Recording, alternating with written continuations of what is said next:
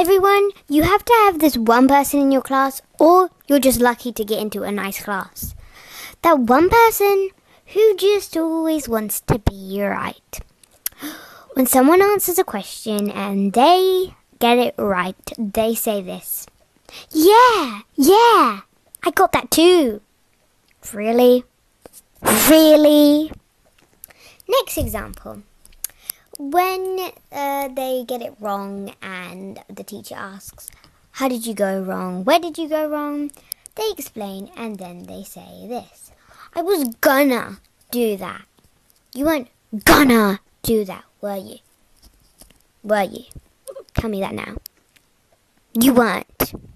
Now stop trying to be the best in the class who gets everything right.